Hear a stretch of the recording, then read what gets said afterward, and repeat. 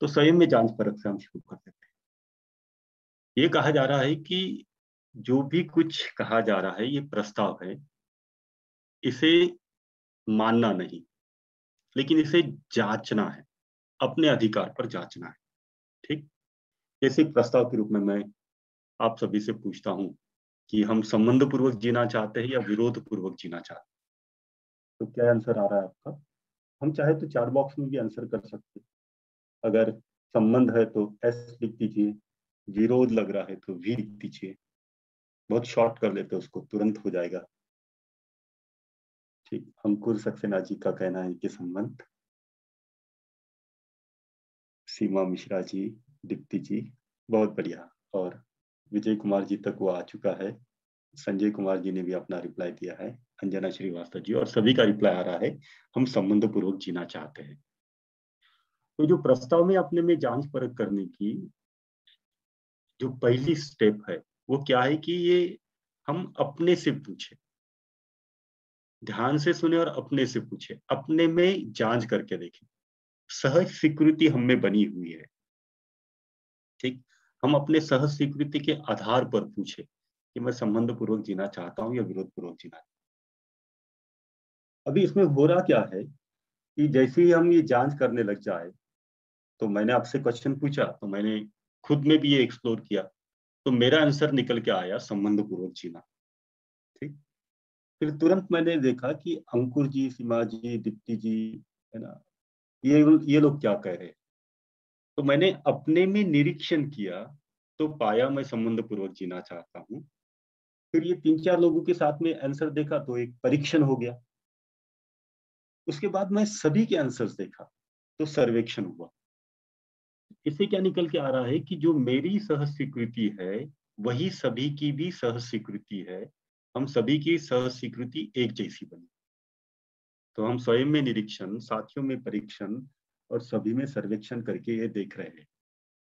तो अब ये प्रस्ताव हमारे लिए सही लग रहा है ना? अपने सह स्वीकृति के आधार पर है और उसको इतने सारे पैरामीटर्स पे चेक कर दिया अब ये प्रस्ताव अगर सही है मेरे लिए तो सब कुछ तो मेरे जीने के अर्थ में ही है। इतनी भागा दौड़ी हम कर रहे हैं, मेहनत करते रहते हैं, क्यों करते रहते जी, जीने के लिए। तो मैं कैसे जीना चाहता हूँ? स्पष्टता हुई संबंध पूर्वक अब दूसरी बात है, उसको जी कर देखे। मानव के साथ में संबंध पूर्वक जी कर देखे। जब भी संबंध के भाव हम में होते हैं, तब हम सुखी होते हैं, या जब विरोध के भाव हम में होते हैं, तब हम सुखी होते हैं। तो उसको अगर देखा जाए तो जब संबंध के भाव मुझमें बने हैं, तब मैं सुखी होता हूँ। और उस सुख संबंध के भाव के साथ अगर मैं दूसरे व्यक्ति के साथ व्यवहार करता हूँ तो वो सुखी होगा या दुखी होगा? उसको हम चेक कर सकते हैं। तो वो उभय सुख है ना? मैं अपने में संबंध के भाव को सुनिश्चित करते हुए दूसरों के साथ भी संबंध पूर्वक जीना तो अपने में भी सुख को सुनिश्चित करते हुए दूसरे के सुख में भी भागीदारी कर पाना। ये म्यूचुअल हैप्पीनेस उभय सुख।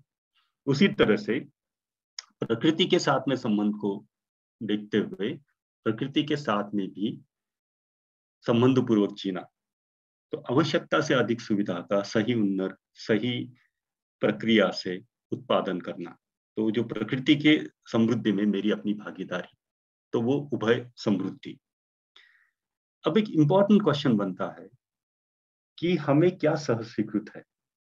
हम अपने अधिकार पर जाँच परख करके प्रक्रिया जाँच परख की प्रक्रिया से हम अपनी समझ को सुनिश्चित करें या कोई हमें बताए क्या करना है, क्या नहीं करना है है ना? और उसे बिना जांचे जो भी कहा है, हम उसको मान लें। उसको समझ लेते कि रिफ्लेक्शंस के थ्रू कि हमें क्या सह स्वीकार्य है।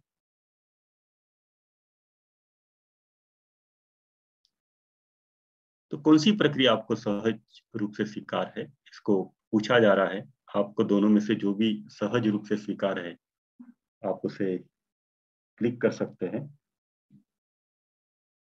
और जब चर्चा चली रही है तो आप अगर कुछ इनपुट भी शेयर करना चाहते हैं या इससे रिलेटेड अगर आपकी कोई क्वेश्चन भी है तो हैंड रेस्ट कर सकते हैं। माइक्रोफोन को अनम्यूट करके आपके क्वेश्चंस को भी पुटअप कर सकते हैं।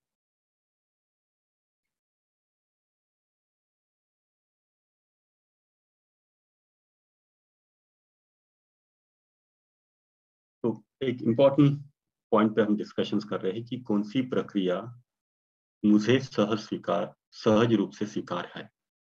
मैं अपने अधिकार पर जांचना सत्यापन करना जो स्वयं में समझ की ओर अग्रसर हो या आदेश या उपदेश की प्रक्रिया। हम्म, जी आदरणीय। जी। जब हमें स्वयं में कोई चीज़ समझ आ जाती है और हम स्वयं में समझ लेते हैं और अंदर से आवाज़ आती है उसको करने के लिए, उसको चाहे जाँच परख कह लें, अपन जो भी कह लें तो जब अंत से प्रेरणा आती कि नहीं, ये हमें करना ही है तो हमारा करने का भाव अलग होता है, उसका परिणाम भी अलग होता है। और जब दूसरे कहते रहते हैं, लेकिन हम उसको समझना नहीं चाहते उस पर सोचते हैं कि हाँ ठीक है यार, सभी तो कहते हैं। कहते रहते हैं, कोई फ़र्क नहीं पड़ता। और इनने कर लिया है क्या? तो दोनों चीज़ों में फ़र्क होता है। हम उसको भी सुनते तो हैं और उससे भी एक भाव बनता तो है। लेकिन जब खुद में लगने लगता है, जैसे खुद की ठोकर लगने के बाद में समझ में आता है कि दर्द क्या होता है फीलिंग्स क्या होती है तो वो मुझे लगता है कि अपने अधिकार पर जाँच परख की जो प्रक्रिया होती है हम तो उसके साथ जाना चाहेंगे। बहुत बढ़िया। तो जिस तरीके से सुधीर जी ये कह रहे हैं कि जब हम अपने में जाँच परख करते हैं तो अपनी समझ विकसित होती है। और फिर जो हमारी अप, मेरी अपनी जो समझ विकसित हुई तो उसके आधार पर मेरे विचार और उसके आधार पर मेरा व्यवहार बनता है। लेकिन अगर किसी ने कुछ कहा उसको अगर मैंने मान लिया जैसे मैं अगर आपसे कुछ कह रहा हूँ और आपने उसे मान लिया तो मेरा मानना आप मानेंगे या आपकी समझ उस पर विकसित होगी? तो केवल आप मेरा कहना मान लेंगे, है ना? मानने से हमारी समझ नहीं बढ़ती है। लेकिन जब अपने में जाँच परख करके देखते हैं, तब हमारी समझ बढ़ती है। तो हम स्वयं के अधिकार पर ये जाँच परख करके मैं संबंध पूर्वक जीना चाहता हूँ या विरोध पूर्वक जीना चाहता हूँ, इसको जब हम स्वयं के आधार पर जाँच परख करके देखेंगे तो मेरे लिए ना, मेरे निष्कर्ष निकलेंगे। उसी तरह से हम सभी अपने अपने लिए एक निष्कर्ष को निकाल सकते बहुत ठीक। और बताइए विजय कुमार जी?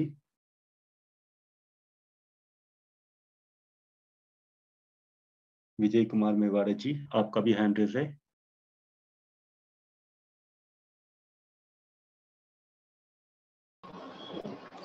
हेलो सर मेरी आवाज़ आ रही है? हाँ जी हाँ जी। सर इस विषय पर आधारित मेरी एक शेयरिंग है। अभी रिसेंटली मैं वैसे इंदौर से हूँ और कोविड केयर सेंटर में मेरी ड्यूटी लगी हुई थी। एसडीएम साहब ने ऑर्डर निकाला था और तीन कोविड केयर सेंटर का सुपरविजन करने का मुझे काम दिया था उन्होंने उन्होंने। तो मेरे मन में विचार आया कि क्यों ना ये ड्यूटी मैं कैंसिल करवा लूँ। मेरे पास बहुत सारे काम है, राज्य संस्थान का भी काम है, एजुकेशन का भी काम है। तो मैं सर से मिलने गया और मुझे अच्छे से जानते हैं वो। उन्होंने कहा कि दूसरे का नाम दे दो किसी का, तुमको रिलीव कर देते हैं, हटा देते हैं। तो मैंने, यकायक एक दो नाम उनको सजेस्ट कर भी दिए। फिर मैंने जब आत्मचिंतन किया तो मुझे लगा कि मैंने मतलब खुद के स्वार्थ के लिए दूसरों को उलझाने का प्रयास किया है। अगर भविष्य में मेरी जगह जिस जो आदमी काम करेगा उससे अगर कुछ हो जाता है या कोई अवांछनीय घटना उसके साथ घटित हो जाती है तो मैं जीवन भर खुद को माफ़ नहीं कर पाऊँगा। तो मैंने आगे रह के सर को फ़ोन लगाया, मैंने, सर, मैं ही करूँगा वो ड्यूटी और अभी एट प्रेजेंट में वही काम कर रहा हूँ और आपका प्रोग्राम भी अटेंड कर रहा हूँ। एक मन को एक संतुष्टि मिली है कि जो होगा वो देखा जाएगा। अपन ने आज तक किसी का बुरा नहीं करा, ईश्वर अपना बुरा नहीं करेगा, उस लक्ष्य को लेकर समाज सेवा का काम कर रहे हैं। तो एक संबंधों और आत्मविश्लेषण को लेकर एक ये शेयरिंग थी तो मुझे लगा कि आपके समक्ष रखना चाहिए, क्योंकि उसमें ये भाव था कि मैं, मेरी वजह से किसी का बुरा नहीं हो। बहुत बहुत बढ़िया विजय जी, है ना? तो जिस तरीके से अपने में जाँच परख करके देख के अपने आधार पर निर्णय लेना कि मेरी भागीदारी को, अपनी भागीदारी को सुनिश्चित कर पाना, वो संबंध को भी देख पाना। और वही लगभग फोर्टी वन जो लोग है, वो यही कह रहे हैं कि मैं अपने अधिकार पर जाँच परख करना चाहता हूँ। नाइन्टी फाइव परसेंट का तो बिल्कुल यही कहना आ रहा है। देखिए, जो अभी विजय जी ने जो पैंडेमिक की बात की ना तो उसको भी अगर देखा जाए तो बहुत सारे हम हर जगह पर ना, व्यक्ति व्यक्ति के रूप में भी दूसरे व्यक्ति को कह रहा है कि प्रोटोकॉल को फॉलो कीजिए एडवाइजरीज को फॉलो कीजिए मास्क लगाइए, दूरी बनाइए, आवश्यकता न हो तो घर के बाहर न जाइए। हर जगह से ये कहा जा रहा है, ठीक? लेकिन अगर जब तक हम व्यक्ति है ना? अगर मैं अपने में जाँच परख करके ये देख लू कि मुझे मेरे शरीर का संरक्षण करना है या मेरे शरीर का, है ना, संरक्षण नहीं करना है, मेरे शरीर का पोषण करना है या पोषण नहीं करना है ना? जब मैं ये जाँच परख करके देखता हूँ तो मुझे ये एक आवाज़ आती है कि शरीर का पोषण करना है, संरक्षण करना है। वो अगर मेरी क्लैरिटी बन गई, अपने में समझ अगर वो विकसित हो जाए तो फिर ये जितने भी कहा जा रहा है कि कोरोना को रोकने के लिए क्या करना तो मैं वो कर पाऊँगा। लेकिन अगर वो मेरी अपने में ही समझ अगर विकसित न हो जाए, मुझे शरीर का संरक्षण भी करना है, ये भी बना है, या वो, वही क्लैरिटी अगर नहीं बनी तो फिर हम चाहे कितने भी बार कह रहे हैं, ना मास्क पहनिए या दूरी रखिए। तो उसका उतना इफ़ेक्ट हो रहा है या नहीं हो रहा है ना, उसको भी हम देख देख सकते सारी। तो जिस तरीके से अभी विजय जी ये कह रहे थे कि जब हम अपने में जाँच परख करके देखते तो मेरी अपनी जो भागीदारी है संबंध का निर्वाह करने के लिए, उस भागीदारी को भी सुनिश्चित करके, है ना, हम उसको इंश्योर उसको सुनिश्चित हम कर पाते हैं। तो अभी जो बात हो रही है, संगीत व्यवस्था में होना सुख ना तो सुख क्या है उसको अभी हम परिभाषित करेंगे। उससे पहले अभी सुख से लेकर हमारी जो कुछ मान्यताएँ है है ना, प्रचलित मान्यता है, उससे लेकर भी चर्चा करेंगे। तो मैं कुछ आपके विचार जानना चाहूँगा कि हम सुखी होते हैं या हमें सुखी करने के लिए हमारा, मेरा अपना प्रोग्राम क्या है? मेरे सुख के लिए मैं क्या क्या कर रहा हूँ? मैं किसमें सुख, मुझे सुख मिलता है? तो दो चार लोग अगर शेयरिंग हो जाए तो फिर चर्चा को हम आगे बढ़ा सकते बढ़ा सकते हैं। तो आप में से जो भी अगर रिफ्लेक्शन आपके विचार अगर रखना चाहते हैं कि सुख की परिभाषा आपके लिए क्या है? जी बताइए जितेश जी। जितेश जी श्रीवास्तव जी। जी जी थैंक यू मुझे सुख या संतुष्टि तभी मिलती है जब दिन भर में 10-15 मिनट में ध्यान कर लेता हूँ। और ध्यान के बाद जो फीलिंग आती है, वो शायद मैं कह सकता हूँ कि मुझे सुख या संतुष्टि की फीलिंग आती है। और दूसरी चीज़ परिवार के साथ रहना भी एक वही अनुभव है, वही फीलिंग आती है, वही संतुष्टि आती है। तो ये दो चीज़ मुझे लगता है कि मेरे लिए वो डेफिनेशन है, सुख की। थैंक यू बहुत बढ़िया। थैंक यू नैनवती वरकड़ी जी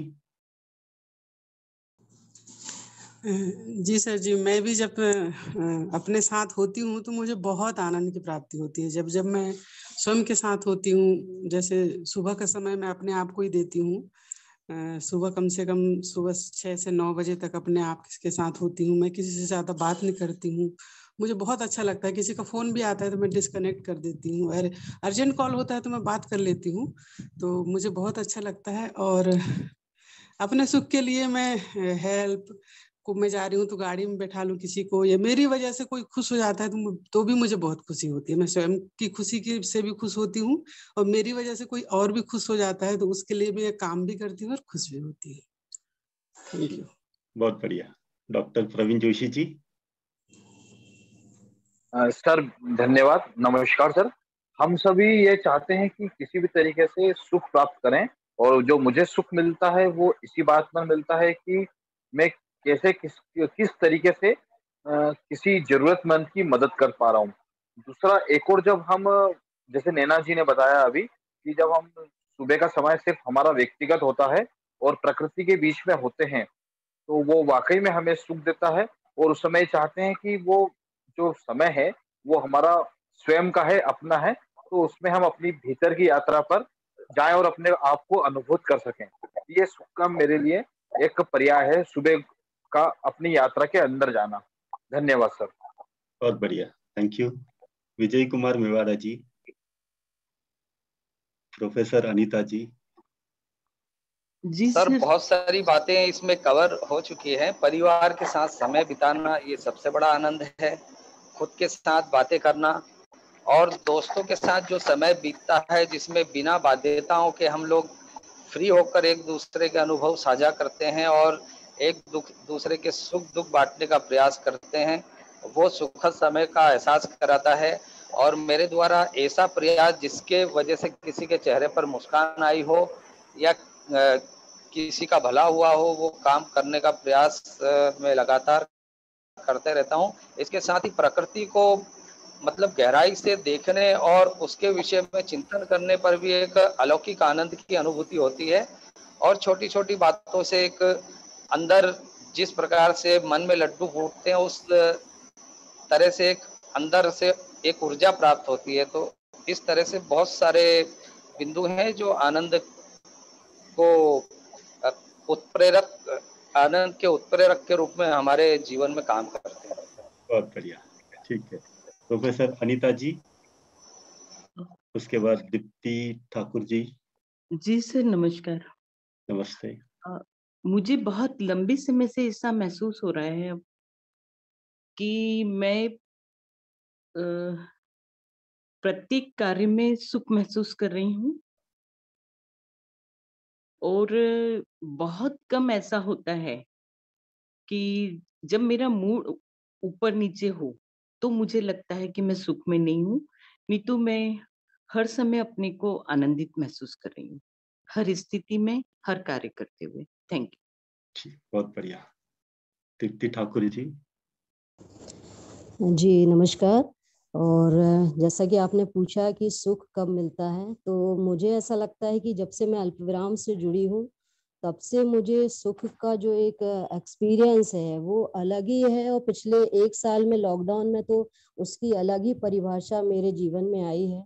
जैसे मैं सुबह उठना बिल्कुल पसंद नहीं करती थी लेकिन पिछले एक साल से मैं जुड़ी हूँ योगा से तो पाँच से छः मैंने नियम बना लिया।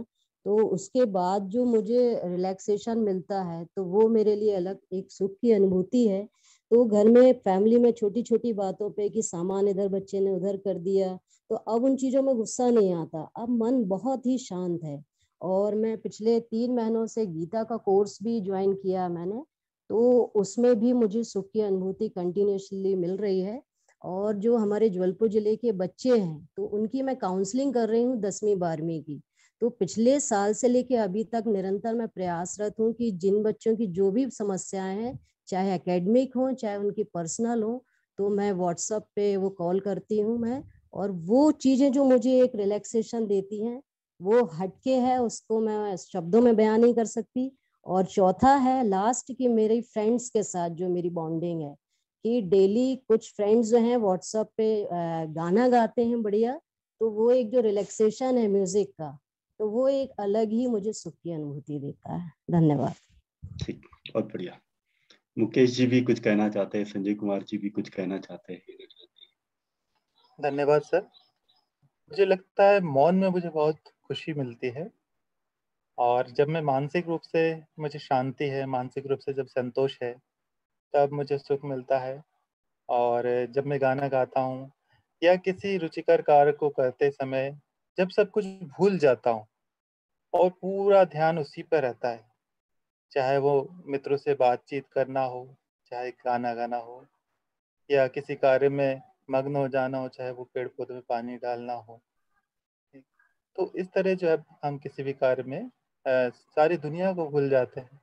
तो उसमें सुख मिलता है और सेवा कार्य में योग में ये कुछ चीज़ें हैं जो मुझे सुख प्रदान करती हैं। धन्यवाद सर।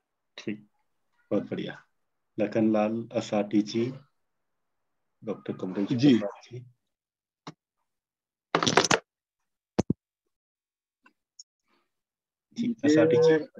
जी जी। मुझे अच्छा पढ़ने में जो मेरे मन का है मन पसंद अच्छा सुन लेता हूँ। और कई बार जो मुझे लगता है मैंने अच्छा लिख लिया, ये मेरे सुख को बढ़ाता परिवार के साथ पत्नी की या बच्चों की छोटी छोटी मदद जब कर देता हूँ तो सुख बढ़ जाता है। और अपने कार्यस्थल पर निस्वार्थ भाव से जब मैं किसी की मदद कर देता हूँ तो मेरा सुख बहुत बढ़ जाता है। और ये अवसर मुझे कार्यस्थल पर कई बार मिला है और जिसको मैंने किया। थैंक यू ठीक बहुत बढ़िया। डॉक्टर समीरा जी। नमस्कार। नमस्ते नमस्ते। धन्यवाद आपके आज के सत्र के लिए और मेरी आवाज़ आप तक पहुँच रही होगी। मुझे अभी जब सुख की बात हुई तो क्योंकि परिवार के साथ हम लोग इस कार्यक्रम को सुन रहे हैं तो जो मैंने विचार किया, उसमें मुझे बिल्कुल सीधे सीधे नज़र आया कि मेरा सुख कहाँ होता है। तो मेरे पति के साथ जब मैं रहती हूँ तो बहुत सारी चीज़ें, बातें हो सकती हैं, लेकिन पति को अपने खेतों में उगते हुए पौधों को देखकर ही सुख मिलता है। वो बाकी सारी चीज़ों से निरपेक्ष रहते हैं, समृद्धि की या चीज़ों की, बातों की। मेरे बेटे को अपनी मन मर्ज़ी का करने में ही सुख मिलता है कि कोई उसको आ, कुछ कहे ना वो अपने मन से निर्णय ले। मेरी माता जी को दैनिक अनुशासन जब रहता है तब संतुष्ट और सुख रहती है। और मेरे लिए मुझे ये लगा कि इन सबके बीच में तालमेल बना बनाकर अपने कार्यस्थल पर बेहतर से बेहतर अपनी सेवाएँ दे पाऊँ मैं ये मेरे लिए सुख होता है क्योंकि मेरे लिए तालमेल भी बनाना एक काम हो गया है। तो जब सब अपनी अपनी मर्ज़ी का करेंगे तो आ, सुख कहीं ना कहीं उसमें आ, होते हुए भी आ, थोड़ा सा तालमेल की कमी कई बार महसूस होती है। लेकिन विगत चार पाँच वर्षों से जब से हमने स्वयं को जांचा परखा है ये सारे बातें बिल्कुल न्यूनतम स्तर पर आ गई हैं। Thank you. बहुत बढ़िया। श्रीमती उषा व्यास जी को भी सुनते हैं और फिर थोड़ी सी चर्चा को आगे बढ़ाते हैं।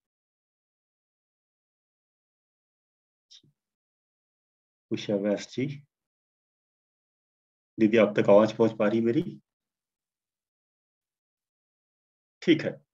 तो लगभग हमने सभी ने अपने अपने विचारों को साझा किया कि मैं जी सर जी जी बताइए। नमस्ते सर। आ, मुझे सबसे ज़्यादा सुख मिलता है जब मैं स्कूल में पढ़ाती हूँ और बेल बज जाती है। और जब बच्चे मुझे बताते हैं कि मैडम पाँच मिनट हो गए बेल बज गई है। और जब वो मुझे सुनाई नहीं देती, वो बच्चे भी इतने प्यार से सुनते रहते हैं, कोई डिस्टरबेंस नहीं करते हैं, तब जब बैल का बच्चे बताते हैं, तब मुझे बहुत सुख मिलता है। और बच्चों, परिवार में रहना और बच्चों को अच्छा ऐसा कुछ बना के खिलाना जिससे बच्चे खुश हो जाएँ, तब मुझे सुख मिलता है। और जब किसी की हेल्प कर देते हैं, कभी किसी के काम आ जाते हैं या कोई पैदल जा रहा है, गाड़ी से यदि हम जा रहे हैं और उसको पूछ लेते हैं कि आपको चलना है क्या? कोई गर्ल गर्ल जा रही छोटी सी बच्ची जा रही है कोई कॉलेज गर्ल जा रही है तो उससे पूछ लेते हैं तो वो जब मैं छोड़ देती हूँ, तब मुझे सुख मिलता है। ऐसी छोटी छोटी बातों से मुझे सुख मिलता है। थैंक यू बहुत बढ़िया।